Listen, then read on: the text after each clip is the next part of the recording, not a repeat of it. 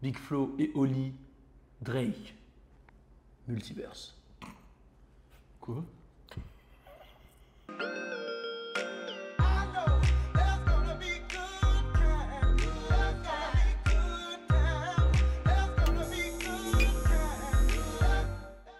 Yo yo yo, c'est Balou et je suis accompagné de madame, Ali Shahen. tout vêtu de Guada Boy euh, en direct de Martinique. Tout vêtu de pyjama boy en direct de Martinique. Alors, petite anecdote euh, que je suis quand même obligé de préciser. Alisha s'est pété les tympans hier. Elle s'est percé le tympan avec un coton-tige. Donc, il n'y a rien qui va, je franchement. me suis perforé le tympan gauche. Il n'y a, Avec y a rien qui va. Je vais pas vous mentir, il n'y a rien qui va. On voulait pas faire la vidéo, mais on s'est dit, on va quand même la faire. On va faire une vidéo rapide. Une vidéo rapide, on va parler. Elle m'énerve à faire ça avec sa bouche là depuis qu'elle fait son piercing, je l'ai fait depuis un moment. Mais t'es chiant, mais j'ai le droit de faire ce que j'ai envie dans la vie. Elle fait que ça du- Mais toute et la journée. alors C'est normal, il est en train de cicatriser. Et alors Et alors Et alors Et alors Et alors Et C'est alors quoi C'est quoi Toi, tu me fais chier toute la journée, je te dis quelque chose. Mais c'est quoi en fait Et alors T'es un dinosaure Mais je suis pas un dinosaure, en fait, c'est euh, pour le trifouiller. Quelle idée de faire des. des, des- Voilà, t'as bien. Voilà, voilà, tu vas faire le tonton. Tu vas faire le tonton qui fait des, des leçons. Mais hein, voilà. En Bon, plus, le pire, c'est que je l'ai déjà eu. C'est ce bon, c'est bon, c'est bon. Fuck. Ah. On va parler de, de Big Flo et Oli. Big Flo et Oli. euh, et je vous le rappelle, n'oubliez pas, un bootleg vous est présenté par. Non. Euh, Good time, n'est pas rappelé. Je suis désolée, les gens. En fait, on est fatigués. Fatigués. Trois jours de festival, deux jours d'interview, vol, perçage d'oreilles, euh, euh, D'oreilles médecin dès le matin. Perçage d'oreille Non, de tympan. Ah oui. ah. Médecin dès le matin. Euh, Ouais, bon, c'est un bordel, Voilà, c'est un bordel. Bon, allez, on va parler de Big Flo et Oli. On rentre directement dedans. Alors, Big Flo et Oli, c'est la famille, grosse force à eux. Euh, c'est vraiment des bons gars, c'est des mecs simples. Euh,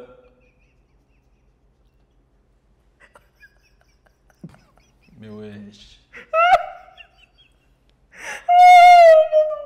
Oh, en plus, ça me fait mal. C'était grave Big Flo et Oli, c'est la famille grosse. Il y a quoi de marrant? Mais il y a quoi de marrant là? Parce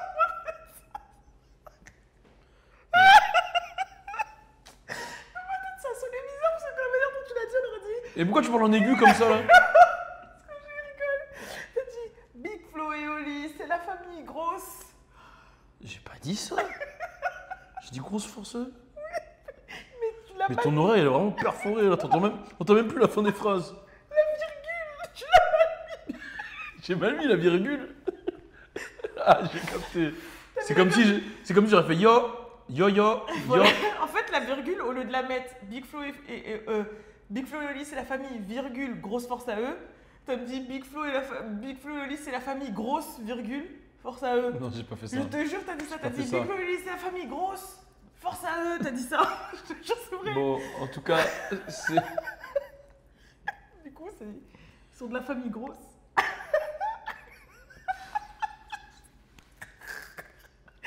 Mais on peut pas faire une émission dans ces conditions, moi je veux le dire. C'est la fatigue, je crois. En plus, c'est bon. Je t'avais dit, hein. Je t'avais dit. hein. Je t'avais dit. Je t'avais dit. Il disait, ouais, faut qu'on fasse, qu'on tourne une vidéo. Je dis, Valou, je suis pas sûre.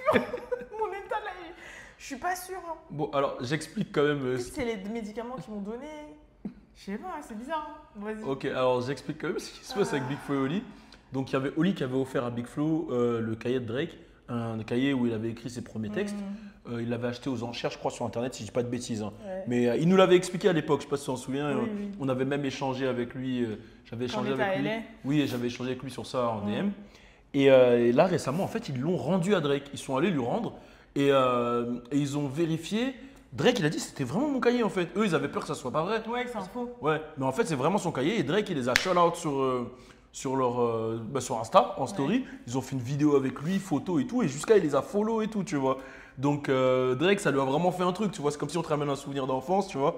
Et je me suis dit, le sujet, c'est pourquoi pas parler d'une anecdote qu'on a eue avec une personnalité, tu vois.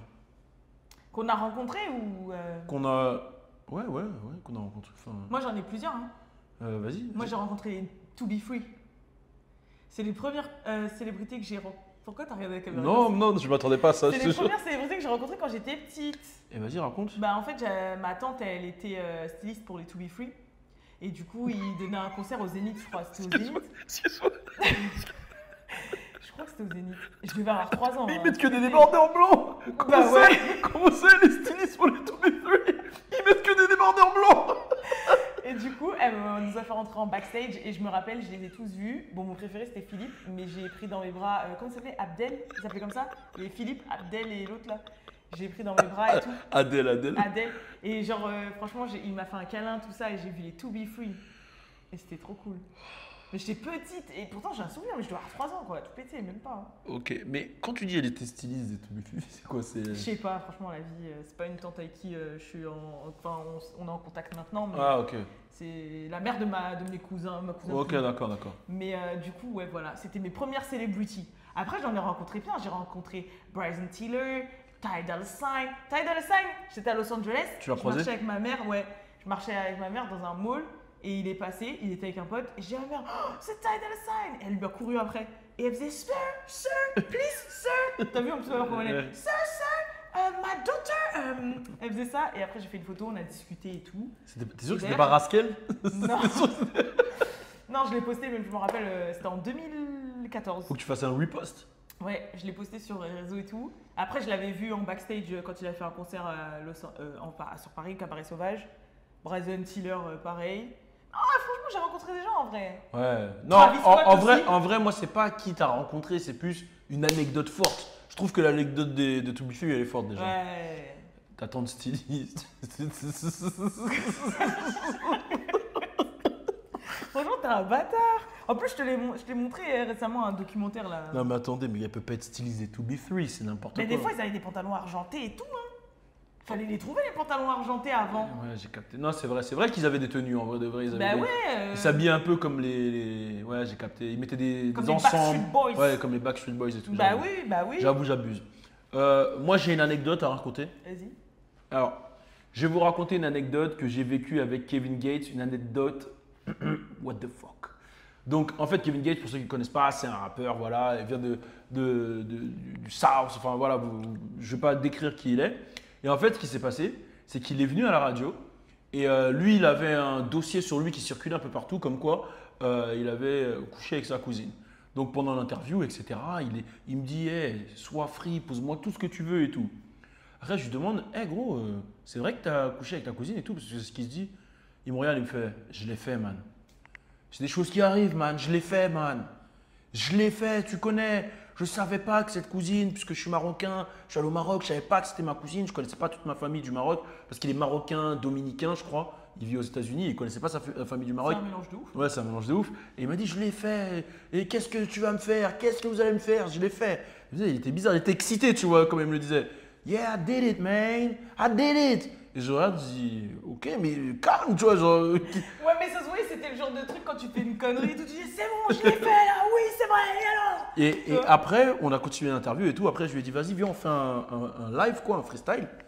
J'ai mis, euh, j'ai mis le son, du coup, pour faire le freestyle. Il m'a regardé, il avait le casque. Il a fait, damn, man, I can't, I'm scared. Genre, il m'a dit, mec, je peux pas, j'ai peur et tout. Je regarde, je dis quoi? Il me regarde, il me fait, j'ai peur, man.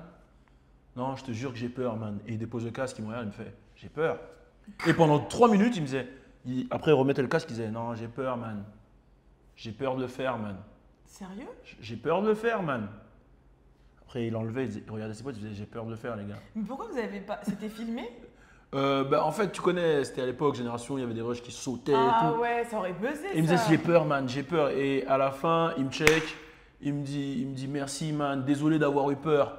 Mais toi, n'aie jamais peur, ok? Je sais que tu vas le faire.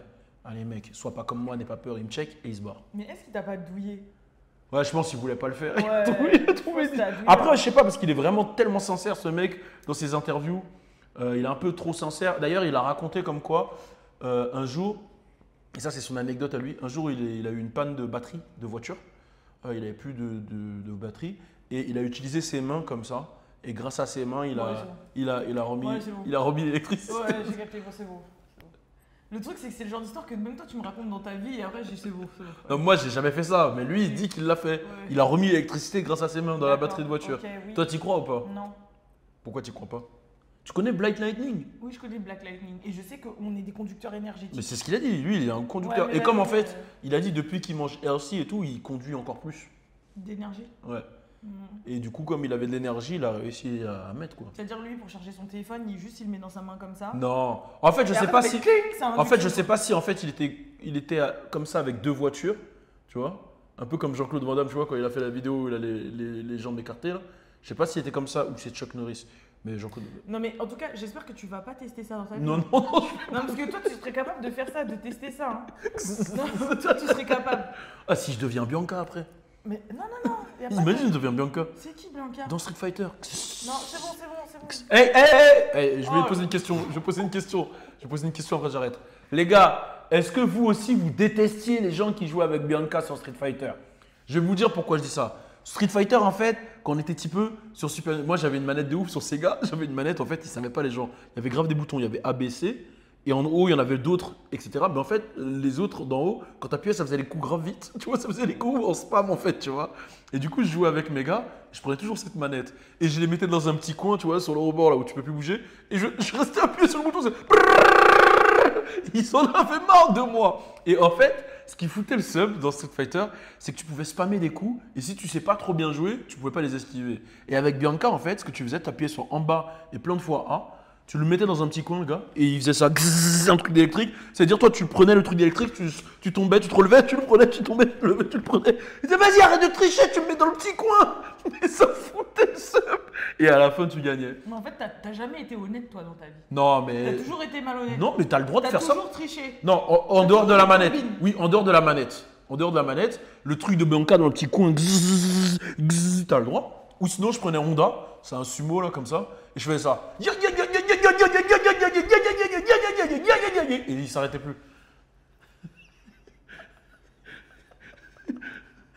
J'arrive à avoir la vision dans ma tête. Et il était trop fort Honda, moi je kiffais. C'est très grave. Ou euh, elle avait le coup-pied. Mais Moi, j'utilisais. j'avoue, je suis plus Tekken que Street Fighter. Ouais, Tekken aussi. hein. Te- Tekken, je jouais King. Ah ouais. King, et je connaissais le combo secret qui te met KO à un coup là. Je l'avais appris par cœur, j'avais un livre de code là. Je jouais King. Après, je sais que tout le monde jouait avec Eddie parce qu'il fait de la capoeira, c'était relou. Mais Yoshimitsu aussi, j'étais fort avant. Yoshimitsu. Je- me mettais assis, je reprenais mes vies. Je faisais mes trucs. Non, j'étais chaud. Ou euh, Docteur- C'était quoi Docteur Boskonovic, celui qui se battait? Ouais, comme. Ouais, ouais, ouais. Oh là là. Ou Lay, Lay, Lay, j'aimais bien. Ou Low.